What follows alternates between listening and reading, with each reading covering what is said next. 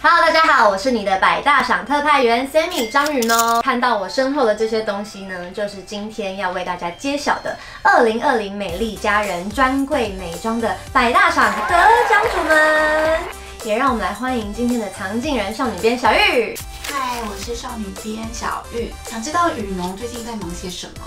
最近在筹备我十二月十二号即将举办的个人演唱会，准备演唱会的之余呢，也要好好的保养，所以刚好呢有机会来试用到一些产品们。你们有没有想要特别首先介绍的？首先介绍的，我觉得应该是这一个非常吸我眼球，因为你们不觉得它的这个红色的外观很像一台超跑吗？我觉得它擦起来呢，算是蛮好推开、蛮好吸收的，而且隔天起来我会觉得眼周的这一块肌肤呢，它真的变得比较紧致，然后比较不会砰砰的泡泡的感觉。啊，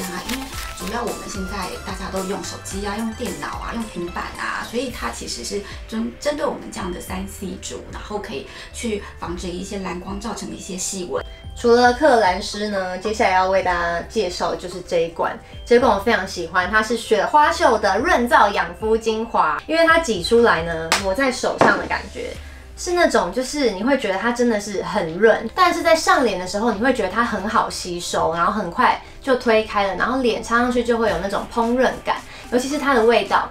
就是有一种。汉方的草本味，然后我觉得很舒服。这罐少女编也很推，而且它其实在韩国卖的非常好，也是宋慧乔指定，她每天晚上都要用的保养品。它可以帮你把肌肤，呃，越养越亮，而且越养越年轻。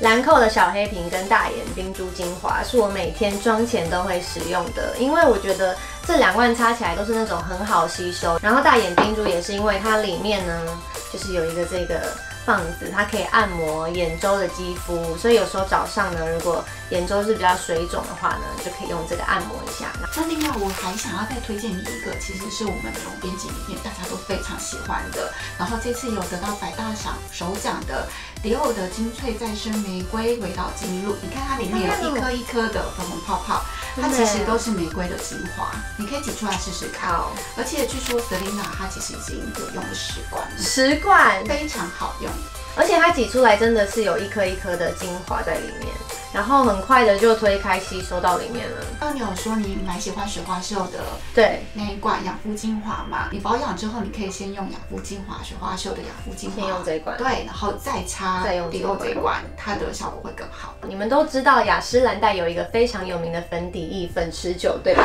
这个应该很多人都有用过。然后它推出了气垫粉饼，而且它的这个妆效呢，我觉得也不输粉底液，因为它一样非常的控油，非常的持久，而且又具带遮瑕。对我们就是常常在外面跑来跑去的妆编辑来说，我们也一定都会有这块 Double Wear 的气垫粉饼。然后我自己本本身很喜欢 YSL 的这一支水釉光唇膏。如果你很喜欢的话，我可以再推荐你旁边那个银管的。这个对，它是新出的，它是星状蜜唇膏，你可以打开来看看里面有星星，真的有一个星星哎，那个星星就是星样显白粒子，它可以反射光线，让你的唇擦起来有嘟嘟的感觉。看完这么多好用的保养品们呢，相信大家周年庆都知道要赶快去买了吧？